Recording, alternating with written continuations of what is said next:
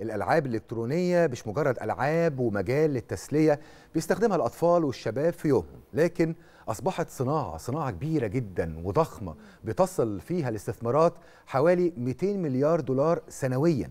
النهارده كمان بقت صناعة بتحتل مركز مهم في قطاع التكنولوجيا العالمي. كبريات الشركات بتتنافس عشان تحدث من هذه الألعاب وتجذب عدد كبير جدا من مستخدميها في كل سنة.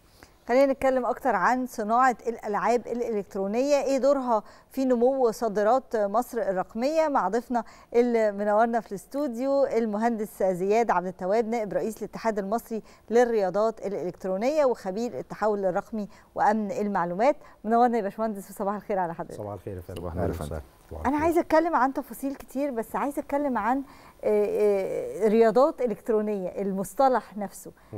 إحنا متخيلين الألعاب بس يعني وسيلة ترفيه وبعدين عرفنا إنها ممكن تبقى صناعة ولكن رياضة إلكترونية؟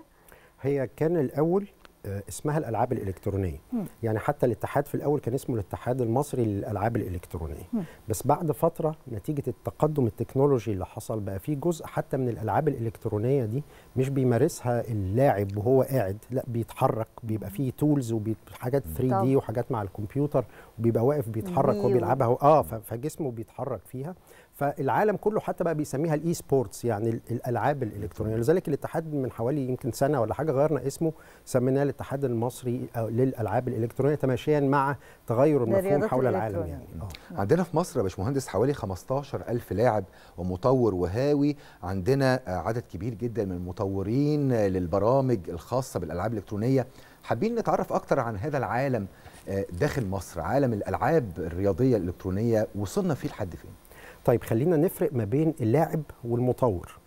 اللاعب أي حد بيلعب ألعاب إلكترونية إحنا العدد عندنا في مصر ممكن في بعض التقديرات بنقول في 40 مليون لاعب للألعاب الإلكترونية. في مصر وعلى مستوى العالم آه 3 مليار مم.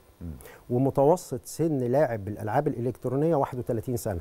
فهي علشان الصورة الذهنية إن هي للأطفال لا هي طب. كل كل الأعمار فلما حضرتك ما يكون المتوسط 31 فإحنا بنتكلم اللي فوق واللي أقل فإحنا عندنا في مصر نقدر نقول عندنا 40 مليون عندنا مجموعة من المطورين بقى ده موضوع تاني أيوة. المطورين في شركات صغيرة ومتوسطة بتحاول إن هي تعمل ألعاب إلكترونية مصرية وتصدر هذه الألعاب علشان تبتدي تبقى جايبة جزء من صادرات مصر الرقمية اللي إحنا بنتكلم عنها. لكن إحنا لو قلنا إن صادرات مصر الرقمية مثلا حاجة في حدود 6.2 من 10 مليار دولار فالصادرات من الألعاب الإلكترونية في مصر في حدود 170 مليون دولار فقط. فهي في حدود مثلا 2.5 3% من لسه نسبة قليلة. ما زالت نسبة قليلة. ولذلك محتاجين إن إحنا نشتغل عليها لأنها فرصة كبيرة جدا. فرصة كبيرة من إن إحنا عندنا شباب كتير. مطور وعندنا شباب كتير بيلعب وعندنا المنطقة العربية ما فيهاش يعني الألعاب الإلكترونية ذات الهوية العربية. يعني كل الألعاب الإلكترونية أغلبها بتبقى جاية من أوروبا من أمريكا من الفار إيست برضو مجموعة كبيرة من الألعاب فدي برضو بتخش بقى في مناطق تانية في ممكن تغيير في الثقافات شوية ممكن قيم. بعض يعني قصص تانية قيم.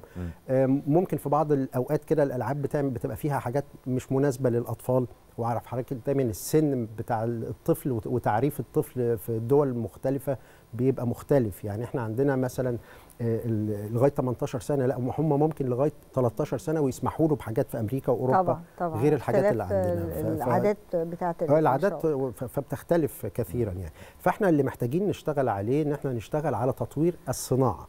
وده بقى غير الشق بتاع الألعاب والمسابقات اللي بيعملها الاتحاد وطبعا الاتحاد المصري وفي الاتحاد أفريقي وفي اتحاد دولي للألعاب الإلكترونية ومجموعة كبيرة من المسابقات يا دكتور عم يا باشمهندس آه. عمال تقول حاجات كتير قوي عايز أسأل عن حاجات كتير قوي في, في, في كل كلام حضرتك حضرتك بتتكلم عن الصادرات الرقمية أصلا آه. في حد آه. ذاته بالزبط. ده مصطلح إحنا مش متعودين عليه يعني إيه صادرات رقمية يعني آه الالعاب موجودة على مش عارفة بنقول أسامي ولا بنقول يعني على ال Play Store وغيرها يعني.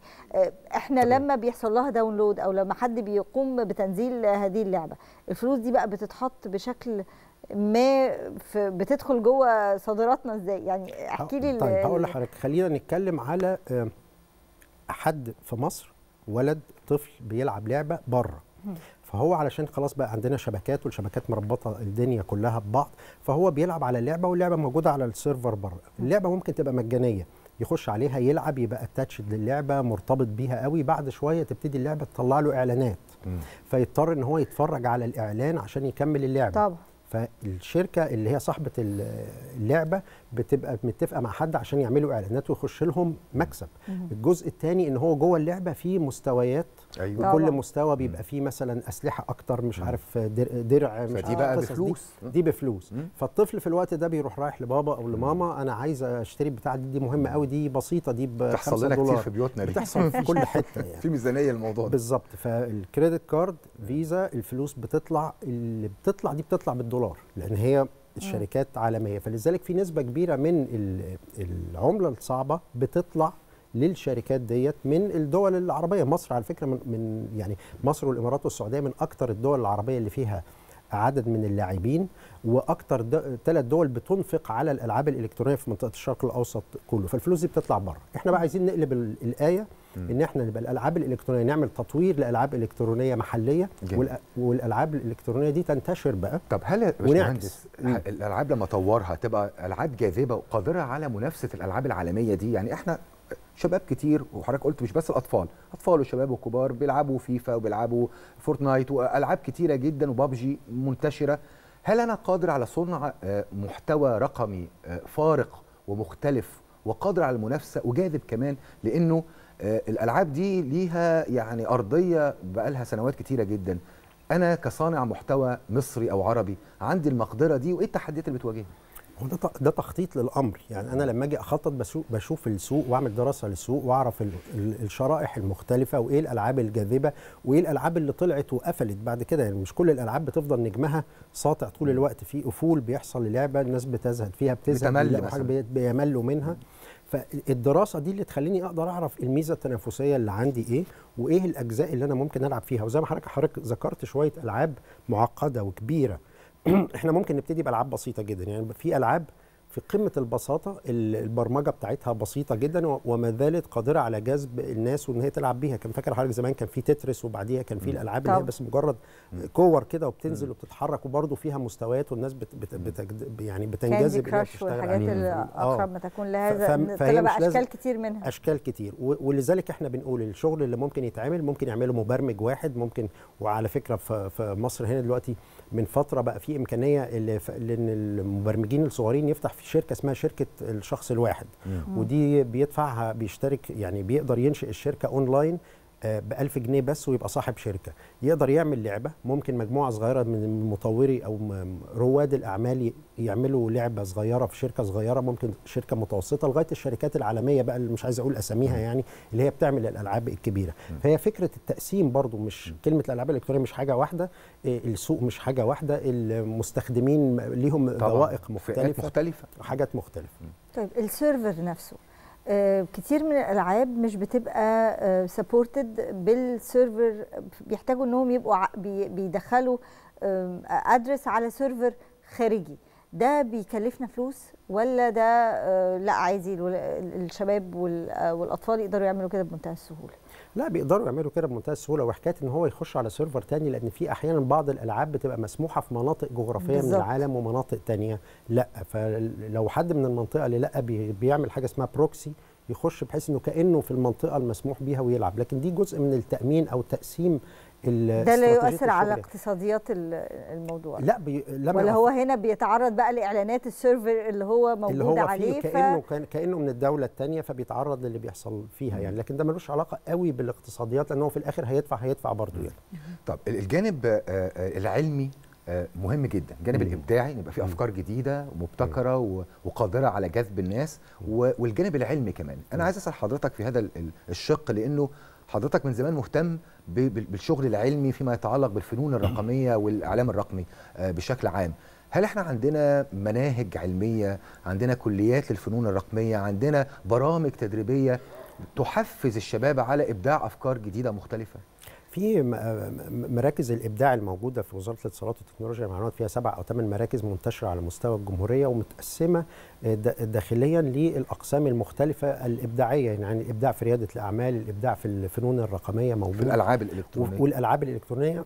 وعندهم في وزارة الاتصالات برضو في معهد تكنولوجيا المعلومات بلاتفورم خاص بتطوير الألعاب الإلكترونية. بيطلع كل سنة منصة كاملة. 100 مطور للألعاب الإلكترونية. بياخدوا دورة تدريبية لمدة تسع شهور بعد ما بيتخرجوا. يعني اللي بيخش المعهد ده بعد بعد ما بيتخرج بيبقى هندسة وبيبقى كل الكليات المختلفة بياخدوا الناس جيد جدا وامتياز وبياخدوا متخصصين في الألعاب الإلكترونية. ده ده مستحدث. يعني ده مثلا بقاله سنتين ثلاثة زيه زي الأمن السيبراني زيه زي الذكاء الاصطناعي يعني التخصصات المختلفة دي. فإحنا عندنا ال ال الناس اللي هي الكوادر اللي بتشتغل ابتدت تتحرك العجلة في الاتجاه ده بس طبعا زي ما قلنا الأرقام ما زالت بتقول إن إحنا محتاجين نشتغل عليه أكتر بحيث إن إحنا يبقى جزء كبير من صادرات مصر الرقمية أو جزء يعني معقول من صادرات مصر الرقمية بيعتمد على الألعاب الإلكترونية. طيب إحنا وزارة الاتصالات عملت منتخب مصر ل منتخب مصر في الألعاب الرقمية.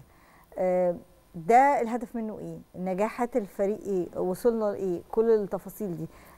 يعني هو ما هو إحنا بنقول إن هي ألعاب فنعتبرها زي لعبة الكورة زي لعبة الشطرنج. في مثلا في الاتحاد النوعي للشطرنج برضو في فريق مصر بيمثل مصر بره في المسابقات المختلفة. ده كله بيعمل رواج رواج داخلي إن كل الناس عايزة تنضم للاتحاد كل الناس عايزة تنضم للمنتخب. فده بيعمل رواج زائد إن بره لما يتقال إن مصر كسبت الجائزه الأولى أو المركز الأول في المسابقة الإقليمية أو الدولية ده كله بيعمل نوع من أنواع الحراك في الموضوع يعني الخاص بالألعاب الإلكترونية. بس ده طبعا ده في المنطقة بتاعه اللعب مش في المنطقة بتاعه التطوير. في نقطة بس أخيرة عايزة أتكلم عنها عن الألعاب الإلكترونية عشان الناس دايما بتقول إن الألعاب الإلكترونية بتسبب العنف وبتسبب م. الإدمان واضطرابات النوم وقلة التركيز والانعزالية للأطفال أو اللي بيلعبها وكده وده حقيقي لكن على الجانب الآخر في جانب إيجابي للألعاب أه. الإلكترونية إن هي أحيانا بتنشط بعض الألعاب بتنشط الذهن بتخلي الذاكرة أحسن بتقلل الإصابة بالزهايمر على المدى م. الطويل بتساعد في التخطيط إنه يعرف يخطط كويس أو تديله معلومات لأن هو ممكن يبقى في مثلا لعبة إلكترونية فيها جزء تاريخي أو جزء م. بيتكلم عن حاجة من الحاجات المرتبطة بالعلوم المختلفة. ومثلا من الحاجات الغريبة وكنا من يومين في معرض الكتاب بنعمل ندوة عن الزواج عبر الإنترنت. م. كنا بنتكلم على المنصات بتاعة الزواج عن عبر الإنترنت كانت مع المركز القومي للبحوث الاجتماعية والجنائية. فاكتشفنا إن أحد يعني شخصين اتجوزوا من لعبة بابجي. دخلوا اللعبة وبيلعبوا وكل واحد في مكان واحد مختلف وابتدوا يتقاربوا مع بعض وفي الآخر اتجوزوا يعني. يعني في جوانب إيجابية أكيد, أكيد. وده ده ده نسال حضرتك سؤال مهم جدا. إزاي أنا ممكن أستثمر عالم الألعاب الإلكترونية وإني أقدم محتوى أو أن أدخل محتوى رقمي يناسب بيئتي وثقافتي ومحمل بالقيم المصرية والعربية؟ لأن ده مهم جدا لأنه فكرة العالم الإلكتروني عموما فيه قيم كتيرة جدا. فأنا إزاي أشتغل على القيم المصرية اللي أنا محتاج أثبتها من خلال هذه الألعاب وإزاي اللعب يتحول إلى وسيلة متعة وتعليم أيضا. يعني دي فكرة مهمة فكرة التعليم بالترفيه يعني. بالظبط. جوه الألعاب الإلكترونية أو صناعة الألعاب الإلكترونية عندنا ناس بتاع التسويق وتخطيط وفي ناس بتوع محتوى. وسيناريو يعمل سيناريو للعبة. وإيه المحتوى اللي هيتحط؟ المحتوى ده ممكن يكون علمي وجذاب وبأنهي صورة. ده بالإضافة للمبرمجين بقى اللي هم بينفذوا هذه المطورين والمبرمجين. المطورين. آه فقبليهم المجموعة الفكرية اللي هي بتحط بقى زي ما حضرتك بتقول بتحط المحتوى بتحط الثقافة بتحط الهوية بتحط التاريخ بتحط العلوم المختلفة. لأن في بعض الألعاب حتى بالنسبة للأطفال الصغيرين ألعاب علشان تساعده في في العلوم وفي الحساب وفي العربي وتتعمل بشكل شيق وجميل جدا وجذاب يعني مش بالشكل مباشر مش حاجة تعليمية. بالظبط. وخصوصا ان بقى في مرحله جديده اللي هي ثلاثية الأبعاد زي اللي هي باستخدام ال virtual reality وبتاع حاجات زي الميتافيرس وكده. مش مجرد إنه هيلعب على الموبايل رغم إن الموبايل 50% من الناس بتلعب على الموبايل لكن في هيلبس نظارة ويبقى شايف عالم افتراضي بالكامل ويقدر إنه يتفاعل معاه. ففي يعني في عناصر جذب كتيرة يعني. طيب أعضاء الاتحاد هم لاعبين ولا مطورين ولا الاثنين وفئتهم العمرية إيه؟ وإزاي يبقوا موجودين في الاتحاد؟ هو الاتحاد بيشتغل على اللاعبين أكتر لكن الجزء بتاع المطورين طبعا في مؤسسات الدولة في وزارة الاتصالات بتشتغل عليه لكن إحنا بنحاول إن إحنا نساعد في الاتحاد في هذا الأمر. أيضا بإن إحنا عندنا خبرة في لأن الاتحاد ده من 2003 عندنا خبرة كبيرة جدا في تاريخ الألعاب الإلكترونية في مصر وفي في المنطقة. عندنا كمان تقارب مع الشركات اللي بتشتغل هنا والشركات اللي بره لأن دايما لما بيتعمل آه، مسابقة ولا حاجة بيبقى فيه سبونسرز من الشركات العالمية. فممكن إن إحنا أحيانا بنقرب ما بين الشركات وما بين المطورين اللي بيشتغلوا في اللعبة آه، موجودة هنا في مصر أو حتى في المنطقة العربية يعني. آه، الذكاء الاصطناعي إزاي ممكن أوظفه؟ وحضرتك كنت يعني لسه بتتكلم عنه في هذه الألعاب الالكترونيه بشكل يخليها آه، ألعاب آه، جاذبة ومؤثرة كمان لأنه دي صيحه العصر دلوقتي في كل مكان. هو الذكاء الصناعي ابتدى يخش في الألعاب الإلكترونية ممكن نقول بدايته خالص زمان لعبة الشطرنج اللي كانت بتتلعب على الكمبيوتر. ده كان يعتبر نوع من أنواع الذكاء الاصطناعي لكن الذكاء الاصطناعي حاليا تطور بصورة كبيرة بقى بقى صوت وصورة ومحتوى وبي وفي محادثة بتحصل ما بيني وما بين ال- الآلة يعني وبتتعلم مني كلام وبترد عليا. فلو ده دخلناه في المنطقة بتاعت الألعاب الإلكترونية هتبقى البريق بتاعها أكثر هتبقى أكثر آه، حميمية وإنسانية. يعني أنا لما ألعب اللعبة هترد عليا بأسلوب مختلف عن اللي يلعبها حد تاني تعتمد على عاداتي و... وأنا بفكر في إيه وبتحرك معاها إزاي وكده. فنحصل نوع من أنواع الكاستمايزيشن للعبة مع الشخص بناء على هواياته واهتماماته وكده. وده كله بيحصل من الذكاء الاصطناعي. ما تبقاش اللعبة لا لعبة جامدة. يحس إن اللعبة فيها نوع من أنواع التف- تفاعلية. أكتر. يعني آه. أكيد. كل الشكر ليك المهندس زياد عبد التواب نائب رئيس الاتحاد المصري للرياضات الرقمية وأمن ال- آه، وخبير التحول الرقمي وأمن المعلومات. نورتنا وشرفتنا. شكرا لك. شكرا. نورتنا يا باشمهندس. الله يخليك.